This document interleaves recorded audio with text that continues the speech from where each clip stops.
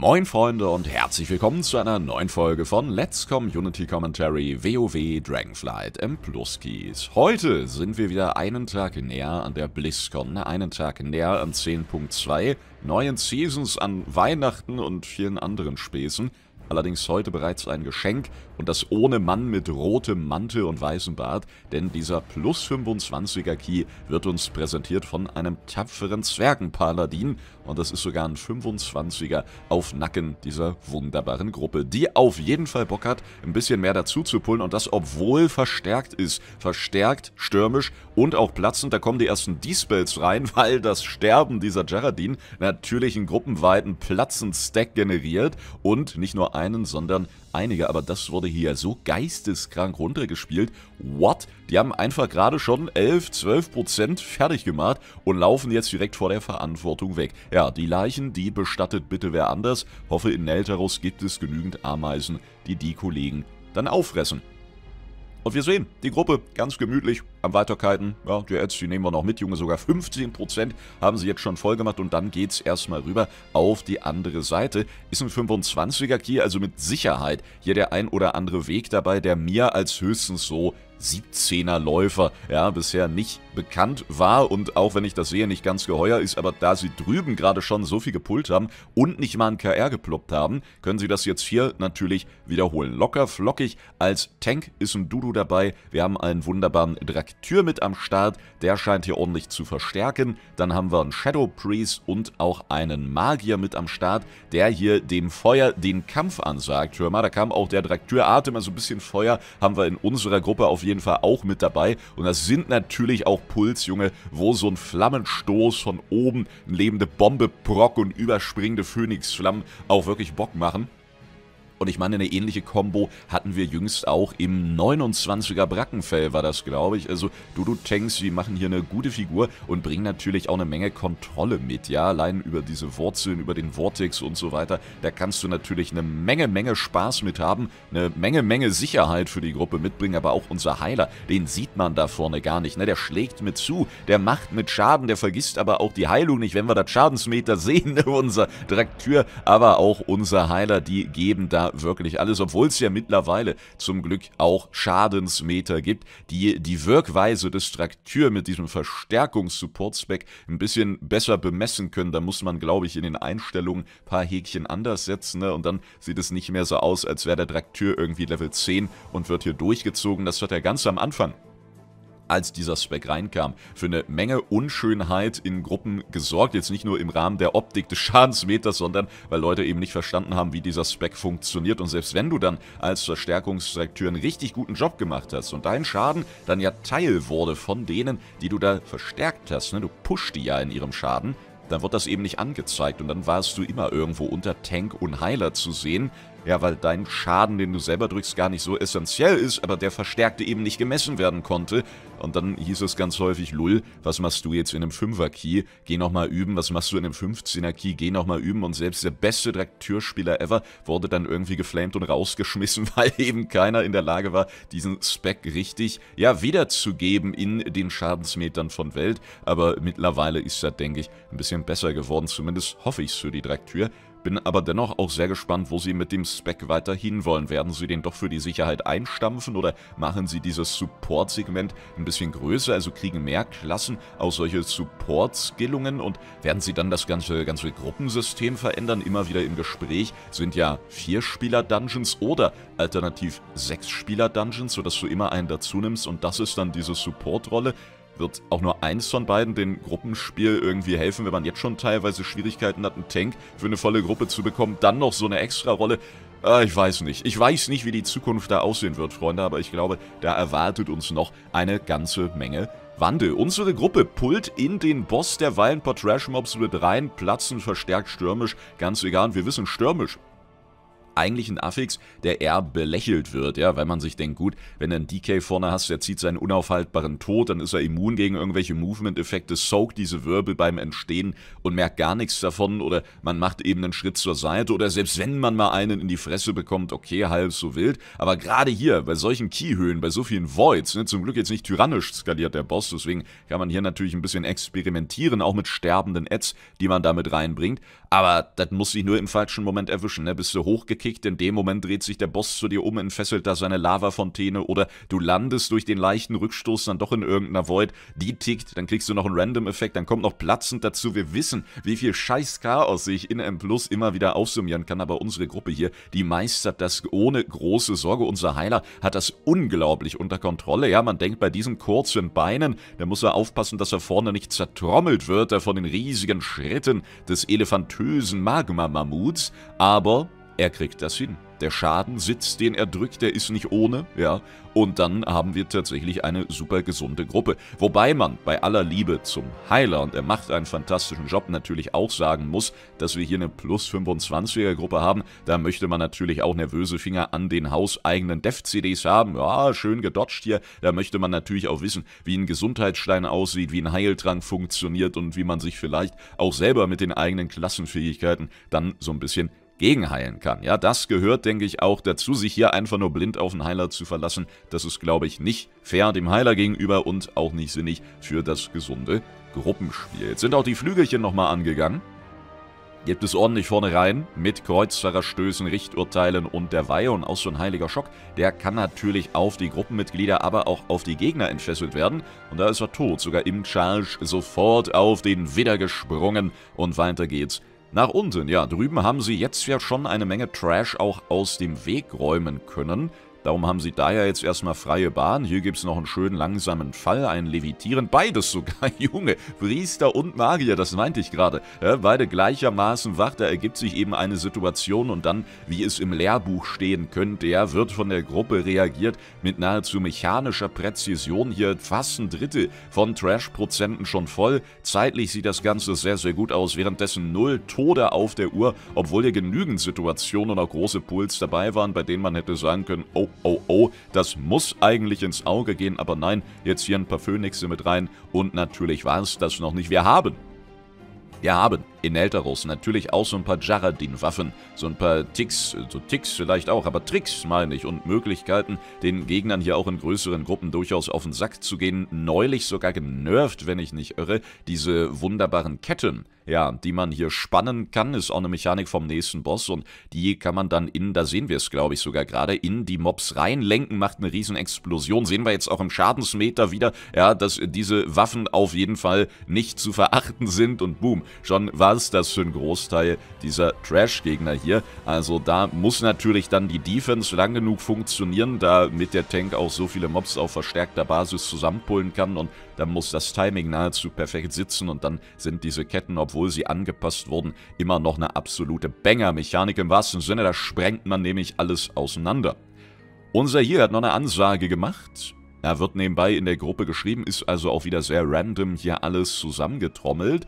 Aber dennoch, wir sehen, der Boss im Single-Target, er hat hier wenig zu lachen und alle warten jetzt eigentlich nicht nur auf die Speere, sondern auch auf die Ketten. Jawohl, auch die muss man in den Boss lenken, aber wir sehen, das macht auch jedes Mal eine Explosion. Deswegen muss auch das so ein bisschen Hand in Hand gehen. Ja, zieht der Tank den Boss in die Ketten oder müssen die Leute mit den Ketten zum Boss? Und wenn sie das tun, egal ob Tank oder der Bekettete, ja, dann muss natürlich das Gruppenleben im Auge behalten werden. Aber schaut euch an, wie spielend leicht. Wow, unser Heiler hier die Phase nutzt, wo der Boss auch gestunt ist, da kann natürlich dann auch weniger Schaden reinkommen und da einfach schön mit den Lichteffekten einmal die Gruppe wieder hochgehoben. Einwandfreie Sache. Er hat den göttlichen Glockenschlag dabei, sehe ich. Ne? Das gerade war diese Fähigkeit, wie heißt die, heiliges Prisma oder so. Das ist dieser Hammer mit dem Lichtstrahl ganz oben links da über seinen ganzen Action-Buttons jetzt wieder auf Cooldown. Da pfefferst du auch so einen Lichtstrahl in den Gegner und dann spreadet das entsprechend. Ne? Finde ich auch super interessant, selber aber gar nicht mitgespielt. Und was ich auch sehe, ist, meine ich, diese alte Ardenwald-Paktfähigkeit, ne?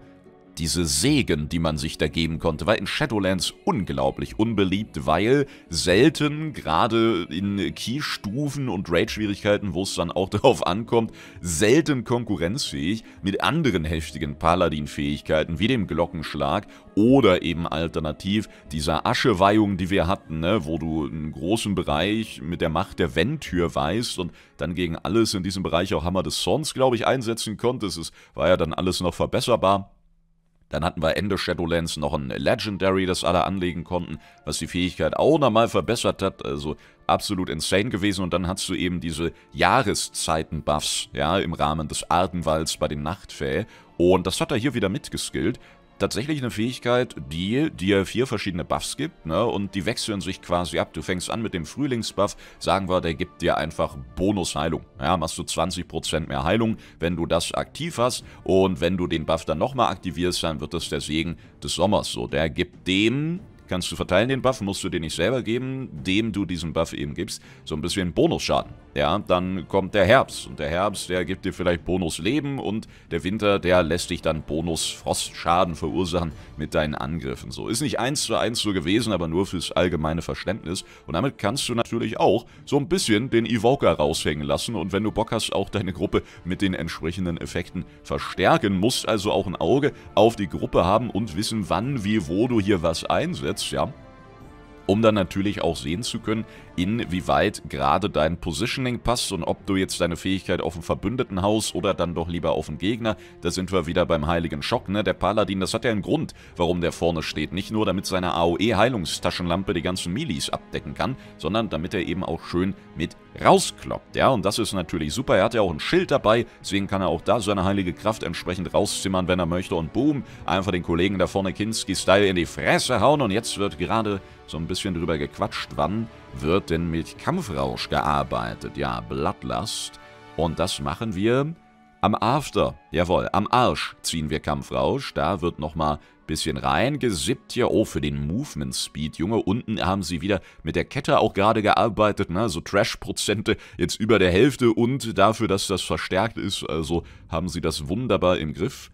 Und dann sind sie auch schon wieder weiter oben. Ja, und hier gibt es eigentlich auch keine größeren Probleme. Also ich meine, die Gruppe spielt bisher so geisteskrank nice, ich wüsste gar nicht, was hier für Probleme wirklich auf die zukommen sollten. Ich meine, es ist immer noch verstärkt und ja, stürmisch kann sehr nervig sein, aber die haben bis hierhin null Tode. Also da muss es schon... Nein! Nein, oh Gott, das Timing. ich wollte gerade sagen, da muss es schon extrem scheiße laufen, dass jetzt ja einer stirbt. Ach nein. Und da wären wir bei einem der Punkte, warum ich bei neuen Spielern und Heilanfängern ungern den Paladin empfehle. Ich meine, wenn wer reinkommt in den Stream und sagt, ey, ich habe jetzt Bock mit Heilen anzufangen, weil ich meckere auch immer so ein bisschen rum, dass wir zu wenig Heiler haben, egal was wir machen, egal ob wir Aberus raiden oder einen alten T-Mog run oder so, ne? Und dann gehen wir ein bisschen Shadowlands, wo man hier und da noch Heilung braucht und du findest selten Heiler. Ja, egal was man macht, so, egal ob wir Mega-Dungeon gehen, ich muss es jetzt nicht alles aufziehen, ihr kennt es vermutlich selber, ne? Und dann weckt das manchmal bei einigen so das Interesse. Wir haben mittlerweile viel, viele in der Community, die auch Heiler twinken, ja, die dadurch noch ein bisschen befeuert wurden. Ich hoffe, dass sich keiner irgendwie dazu genötigt fühlt, sondern ja, wie es so ist, wenn man überlegt, Mensch, was twinke ich jetzt? Ach, alle suchen irgendwie Heiler, nehme ich das doch mal. Und dann kommt natürlich gern die Frage, was, was ist denn so ein anfängerfreundlicher Heiler? Und dann sage ich immer, ja, an sich sind alle leicht zu lernen, aber schwer zu meistern. Soll heißen, wenn du jetzt Bock auf einen bestimmten hast, dann nimm den. Ja, weil diesen generellen Bock von Anfang an, das kann eigentlich nicht so niemand ersetzen. Das kann man gar nicht irgendwie besser machen und besser nutzen. So, nimm diesen Bock, pflanz ihn in einen Charakter und zieh durch. Ja, das ist eigentlich das Beste, was es geben kann. Wenn du aber gar nicht weißt, wo, wo willst du anfangen, dann sage ich immer Priester. Holy Priest ist eine Maschine. Holy Priest, selbst wenn du der beschissenste Movement-Legastheniker überhaupt bist, ja, dann kannst du noch ein bisschen weiter heilen, wenn du stirbst. So, du hast einen Haufen Oh-Shit-Buttons, du kannst ein bisschen Schaden machen, wenn es gut läuft, aber du hast eine relativ simple Möglichkeit, deine Gruppe wirklich sicher zu supporten, auch überwiegend mit direkten Heilungen, ja, mit überspringenden Effekten und noch ein paar kleinen Hots dazu. Das ist einfach eine sichere Bank. Und wenn es dir dann zu langweilig ist, dann gehst du auf den Dissi, das ist einer der absoluten Experten und dann willst du ganz schnell zum Holy zurück. Ne? das ist so meine Erklärung immer. Aber auch so ein Paladin natürlich kann funktionieren, Shami kann funktionieren, Dudu und und und. Ich versuche dann immer bei meinen Empfehlungen zu gucken, was könnte so ein Spieler sehr verwirren zusätzlich, ja, dass du wirklich viele Oh shit Buttons hast für überfordernde Situationen und wenn du vielleicht gerade noch auf dein Positioning, auf deine Verbündeten und deren Fähigkeiten, auf Bosse und Wege in Dungeons klarkommen musst, dann kann ich, glaube ich, sogar so ein Shami-Totem noch verwirren und ablenken. Ja, dann willst du Heilungsflut stellen und stellst dann aber Erdstärke oder was weiß ich, dieses Fesseltotem oder statische Aufladung und dann, ja, brauchst du erstmal eine halbe Stunde, um das Richtige zu finden von den Elementaren und Co. und dann noch Kampfrausch. Ja, das sind so Sachen für viele von uns Standard, kein Problem. Aber wenn man sich in so einen neuen Spieler reinversetzt, ne, dann kann das, glaube ich, alles irgendwie überfordernd sein. Und als Priester stehst du da hier ein bisschen Licht für dich, bisschen für dich und dann geht das eben nach vorne. Aber Paladin, ja, dazu dieses vorne mit rumstehen, wir haben es gerade auch gesehen, so ein paar Dev-CDs noch ploppen, um da auch klarzukommen, ne? Und, und, und, also da gehört schon ein bisschen dazu. Ein bisschen mehr, möchte ich, aus meiner Sicht zumindest sagen. Es sei denn, wir reden dann ab einer bestimmten Key-Höhe über ein bestimmtes Spieler-Skill-Niveau. Das sollte dann natürlich immer ähnlich sein und dann sollte man natürlich seine Klasse auch ähnlich meistern und beherrschen. Und wenn dann nicht gerade irgendeine Metatabelle kommt und sagt, du kommst hier schon mal gar nicht rein, dann sollte man da natürlich bei allen wissen, auf einem gleichen Stand. Wie, wann, wo, was funktioniert und sich nicht mehr in chaotischen Momenten wie gerade, wo wir leider weiteren Tod auf die Uhr bekommen haben, ja, ohne Artikel, weiterer Tod kommt dich holen. Da muss man dann eben nicht mehr gucken, wo ist jetzt Erdbindung und wo ist hier was, sondern dann kommt da hoffentlich auch diese Erfahrung, diese mechanische Präzision und dieser gemeisterte Zustand einer Klasse. Drei Tode sind, glaube ich, absolut zu verkraften bei der Art und Weise, wie sie hier durchmarschieren, bei dem Tempo, wie sie den Trash hinter sich lassen. Sehr schön, wir sehen auch immer wieder, wie viel Kontrolle dieser Support-Evoker, dieser Aug-Voker wegen Augmentation, wie man so schön sagt, die viel Kontrolle der mit reinbringt. Ja, jetzt war ich schon wieder in einer Direkteurs-Story hier, ich raste aus, Freunde. Indem er die ganzen Mobs da vorne auch hochkicken kann. Ja, er kann tatsächlich den Boden aufbrechen und somit so einen kleinen AOE-Interrupt mit reinbringen das ist schon relativ geil, davon abgesehen die generelle Verstärkung, also das macht sich schon bemerkbar. Wir machen ja on Stream ganz gerne Skip-Runs im Mega-Dungeon. Der gute Maverick hat da häufig eine ID für Only Endboss, die kann er da mit uns teilen und dann haben wir da verschiedene Runs, mal wunderschön und Lehrbuch-Style, wie wir es hier regelmäßig sehen von unserer Gruppe und mal naja, haben wir eine nicht ganz so günstige Gruppenkombination und ich selber nur noch ein Guffeltwink und ihr kennt das, ne? Wenn man sagt, noch ein Run, noch ein Run und die eigenen Chars, die werden immer ranziger, die eigene Erfahrung, ja, da ist natürlich dann auch nicht bei jedem Char der gleiche Erfahrungslevel, so wie der Kollege hier ein Paladin spielt, also davon kann ich nur träumen. Und auch wenn ich es innerhalb meiner Chars vergleiche, mein DK Main, den spiele ich natürlich ganz anders und weiß in verschiedenen Situationen ganz anders, wie ich jetzt nahezu perfekt hoffentlich reagieren kann, als wenn ich jetzt auf einen Kriegertwink gehe. Oder einen Pelli oder wie auch immer, ja.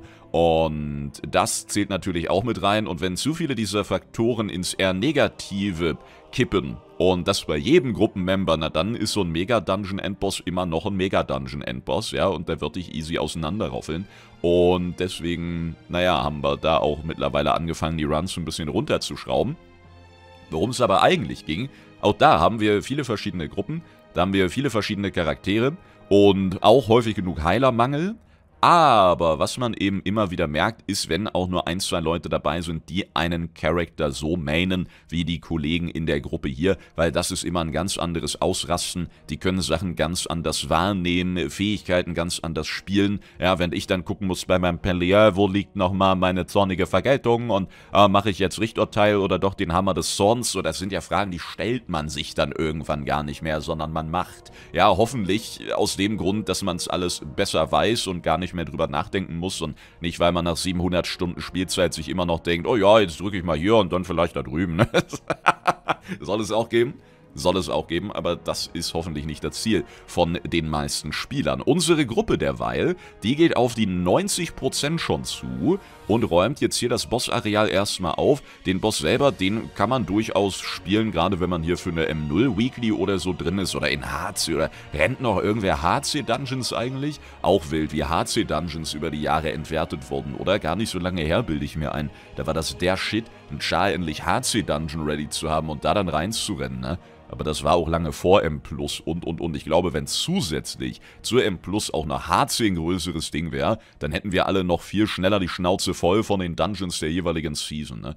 Vielleicht ganz gut, wie sich das entwickelt hat, aber worauf ich hinaus wollte bei diesem Boss, da kannst du eigentlich reinspringen. Ja, da muss man nicht unbedingt Angst haben, dass er hier im Raum hin und her hops und dann alles noch dazu pullt, aber in so einem 25er Key, da willst du vielleicht doch verhindern, hier irgend so ein Schmied mit AOE, Feuer Nova und Feuer Ads noch dazu zu rufen, wenn nur mal einer einen falschen Schritt macht oder jemand durch einen ungünstigen Wirbel, hier sehen wir es gerade, dieser minimale Rückstoß, der damit einhergeht, ja, der damit dann in die nächste Gruppe gekickt wird, also dieser jemand will einfach keiner sein. Und darum am besten von Anfang an lassen. Junge, wie dieses heilige Prisma-Ding aber die Gruppe auch wieder hochballert, ne? Das hat wie lang Cooldown? 20 Sekunden? Und jetzt wünscht er sich vermutlich, es bereits wieder ready gehabt zu haben, bei dem Schaden, der hier gerade reingreift. Aber schaut mal, unser Pelli, Junge. Wie der genau weiß, wie viel Schaden jetzt kommt, der hat sich gerade gar keinen Stress gemacht, ne? Da kam diese Feuernova an Feuernova und die Gruppe droppt so gemeinschaftlich auf 20-30% Leben runter und unser Pelli, Sunder, der eine Kreuzfahrerstoß, der muss jetzt schon noch sein, ne? Und das meine ich mit der Erfahrung. Ich hätte da mega Panik geschoben. Ich hätte da möglicherweise als uneingespielter und unerfahrener Heiler gerade erstmal Hard-CDs gezogen als Priester erstmal eine Gotteshymne oder sonst was, um dann nach einem Tick dieser Fähigkeit direkt abbrechen zu müssen, weil die Feuerwolz auf den Boden kommen. So weiß man aber zum einen die eigene Klassenerfahrung und auch Erfahrung die Gruppe betreffend, das halten die aus und ich kann die gleich in Ruhe mit normalen Fähigkeiten toppen. Und ein Hard-CD, bei dem ich stehen und kanalisieren muss, der lohnt möglicherweise eh nicht, weil die nächste Bossfähigkeit eh in meine Fresse kommt und dann muss ich laufen oder sterbe. Ja, plus 25, auch wenn es nicht tyrannisch ist, also direkt hier als Nicht-Tank Bossfähigkeiten fressen, ist auf jeden Fall nicht empfehlenswert und wir sehen, wie locker luftig das hier weitergeht. Jawohl, ansonsten ja auch überwiegend Standard-Interface mit dabei, ne? sowohl die Gruppenanzeige als auch unten die Aktionsleisten ganz auf entspannt. Viele Fähigkeiten mit Licht dabei, ansonsten ein bisschen was vom Dunkeleisenzwerg mit drin, ne? aber jetzt nichts was irgendwie so richtig raussticht. Die Anzeige in der Mitte natürlich sehr präsent mit den wichtigsten Cooldowns und laufenden Buffs und und und. Aber davon abgesehen, sehr aufgeräumt das Ganze. Ne? Deswegen kam ich auch noch gar nicht weiter darauf zu sprechen. Jetzt hier wieder mit dem Lichtprisma ein bisschen gegengeheilt und dann erstmal Schaden machen. So, warten wir auf die nächsten fetten Ticks, die hier in die Gruppe reinkommen. Gucken, ob irgendwer ein bisschen Movement versaut und dann fangen wir an zu heilen, damit sich das auch lohnt. Der Boss ist unter 20% und unser Heiler sieht mana-technisch so aus, als wären die gerade aus einer kleinen Trash-Gruppe in M0 gekommen, Junge. Absolut fantastisch. Also ich finde, das strahlt eine gewisse Ruhe aus. Ja, Mag man vielleicht gar nicht glauben, wenn man das ein bisschen anders beobachtet, als ich es gerade tue. Aber ich finde, was unser Heiler hier macht, das strahlt eine gewisse Ruhe aus, einfach weil es wirklich in jedem seiner Schritte so wirkt oder in fast jedem, als wüsste er genau, was er tut und als wüsste er auch, was als nächstes kommen muss. Und das bringt er dann aber auch. Ne? Ich selber weiß auch häufig, was jetzt theoretisch als nächstes kommen muss, aber ob ich das dann mache? Naja, das ist eine andere Geschichte, ne? Wie wenn ich eine Mail abschicken will und habe die fertig geschrieben und check dann noch 700 Mal die Anhänge und check noch 700 Mal die Rechtschreibung und lenk mich dann noch eine halbe Stunde mit Social Media ab und denk mir dann, na gut, die speichern wir erstmal in Entwürfe, die schicken wir dann morgen raus und dann wird aus morgen eine ganze Woche und dann gucke ich nochmal rein, ändere nix, schick die ab und dann stelle ich fest, ich habe einen Anhang falsch. Junge, das ist der Lifestyle. Ich raste aus, ja, da bin ich auch ein sehr spezieller Typ. Ich will doch nichts außerhalb von WoW mit Leuten zu tun haben. Da muss ich Mails schicken und Anhänge und dann kriege ich auch noch Antworten. Oh Gott, wo soll das enden? Leute, ihr macht mich wieder fertig mit solchen Sachen. Aber unsere Gruppe ist super zügig hier nach vorne. Der Direkteur hat gerade ein bisschen Anschluss verpasst und da kann ungünstig die Patrouille vorbeigewuselt. Hat unser Priester eben mit hochgezogen, easy going. Dann sind alle wieder runtergesprungen. Also es ist ein großes Auf und Ab hier.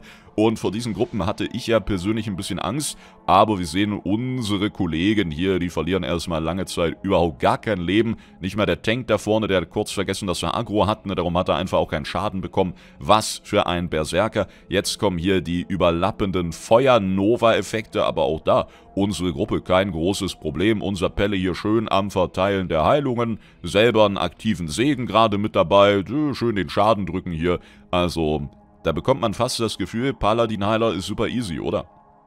Aber bei dem stimmt ja nicht nur die Erfahrung, da stimmt auch das Gear, da stimmt ja auch die Gruppe. Es sind so viele Faktoren, ne, wo immer was schiefgehen kann. Ich merke es immer in den Streams, wie die Stimmung ganz schnell kippen kann, wenn man sagt, ah oh, Freunde, heute hatte ich einen schönen Run in M-Pluskis oder Zeitwanderung. Ist ja momentan diese große Sause, ne? Fünf, sechs Wochen lang, jede Woche Timewalk. Wir sind eigentlich on-stream, auch nur am Durchpimmeln. Hier ein Raid, da ein Raid und überall ein Raid-Raid, ja. Und dann gibt es ja noch erhöhte Mount-Drop-Chancen für die jeweiligen äh, Zeitwanderungsreittiere. Ja, wir haben ja zum einen eine normale Weekly in der Hauptstadt in Waldracken kann man die annehmen, wo man fünf Zeitwanderungs-Dungeons machen kann oder eben Zeitwanderungs-Raid-Bosse killt in Uldua, Schwarzer Tempel oder whatever und dann da schön HC-Loot aus dem aktuellen Raid bekommt. Sehr lecker. Und wir haben noch eine extra Weekly, wo wir dann in dem jeweiligen Zeitwanderungs-Raid den Endboss töten müssen. Da gibt es auch nochmal eine Kiste mit fett skaliertem Loot und da kann eben auch ein Haustier oder sogar Mount aus der jeweiligen Zeitwanderungseinheit drin sein. Sind wir also Schwarzer Tempel gelaufen, haben Illidan gekillt und dann hat jemand Allahs Asche gezogen aus dieser Kiste. Oder als wir neulich Feuerlande waren zu Kata, da sind erstmal, ich glaube insgesamt fünf Mounts gedroppt für natürlich fünf verschiedene Leute und zwar aus der Drachenseele. Junge, für einen Ruggy-Kill in Firelands. Also richtig geisteskrank momentan, was da passiert. Und darum ballern wir da definitiv ordentlich durch, haben da auch eine Menge Freude. Und wenn man dann davon erzählt, dann fängt es immer an so ein bisschen zu kippen. Und dann kommen die Ersten und sagen, ich hatte nur Scheiß-Runs, oh, ich brauche erstmal eine Pluspause. Und Junge, die Randoms wieder, ne, dann quatschen wir da ein bisschen rüber, ich versuche das Ganze immer so drauf zu lenken, ja, dass es so klingt, wie es meiner Meinung nach auch ist, von wegen, wenn du jetzt Kack-Runs hattest, dann werden die nächsten wieder besser. So will es das Gesetz. Ja, der kosmische Ausgleich. Denkt an die Lore. das kosmische Gleichgewicht. Und für jeden beschissenen Run hat wer anders einen besonders guten. Vielleicht findet er im nächsten eine Gilde. Die große Liebe. Oder einfach nur einen entspannten Run. Ja, und Denkt dran, auch zu gucken, sind denn wirklich alle Runs so scheiße oder überwiegen gerade nur die negativen. Ich bin ja auch so jemand, ne, ich kriege am Tag zehn tolle Kommentare, einen beschissenen. An was denke ich abends im Bett? An den beschissenen. Und dann denke ich mir aber immer, na, der war so doof, Junge, das lohnt sich gar nicht. Der ist es eigentlich gar nicht wert, da groß drüber nachzudenken. Darum bin ich dann einmal ein bisschen pisst und denke, warum denn jetzt hier an diesem schönen Tag unter diesem Video? Und dann versuche ich das auch ad acta zu legen. Und so versuche ich dann diese Gespräche zu führen und das Thema und die Stimmung ein bisschen zu drehen. Und das funktioniert in der Regel, weil dann auch gleich wieder viele aus der Versenkung hervorkommen und sagen, ja eigentlich, ne, eigentlich, der nächste Run, der war wieder besser und morgen laufe ich auch mit der Gilde und, und nächste Woche sind auch wieder andere Affixe und ja, dann passt das. Ne? Darum, Freunde, von diesen negativen Einflüssen gar nicht regieren lassen, so wie unsere Gruppe das hier macht. Ne? Lieber ein paar Schätze plündern, das Schild zerroffeln und dann Kampfrausch den Boss einfach schon ins letzte Drittel seines Lebens geballert haben. Trash-Prozente sind ja auch schon voll, ne? deswegen konnten sie die Ekelgruppen hier, auf die hatten sie also auch keinen Bock, zum Glück auch überspringen. Bisschen Heilung nochmal mit rein, jawohl, ein bisschen Defense, dann ist das Schild aber auch schon wieder kaputt. Da kam wieder dieser Prisma-Leuchteffekt, ja. Gruppe ist getoppt, Boss ist gestunt, alle hauen einfach komplett geil geisteskrank mit drauf. Und dann sind wir auch schon in der Execute-Phase. Das schmeckt unter anderem unserem Shadow Priest. Und dann dürfte sich dieser Boss verabschieden. Und die haben einen 25er Neltarus wirklich wunderschön gespielt. Die drei Tode natürlich sehr, sehr ärgerlich, aber sind ja Menschen und keine Maschinen. Hoffe ich. Und deswegen ist das, denke ich, auch sinnig zu verbuchen und auch durchaus auszuhalten. Ja, es geht nochmal in die Ecken. Es geht nochmal zum Plündern für die Sicherheit. Da ist echt noch ein Schild raus oder was? Nee, komm, haut sie um jetzt. Das war da wirklich nur für die Sicherheit. Oder Magma Shield bei oh, 0,77% Restleben. Oh, come on. Das ist auch so ein Moment, aber ja, zum Glück konnten sie es noch schnell beenden. Das sind so die Momente, ne, wo man fast schon, ja, OMG, wo man fast schon denkt, scheiße, Junge, what is happening, ne, und dann drehen alle irgendwie durch, alle sind auch total aufgeregt, ne, unser Heiler muss die Aufregung erstmal ein bisschen weghüpfen, man kennt ihn und das war fantastisch, ja. Das war absolut schön mit anzusehen. Vielen Dank fürs Zuschauen, vielen Dank fürs Zuschicken und dann freue ich mich, wenn wir uns in den nächsten Videos, Streams oder sonst so gesund und munter wiederhören. Hau da rein und Tschau's.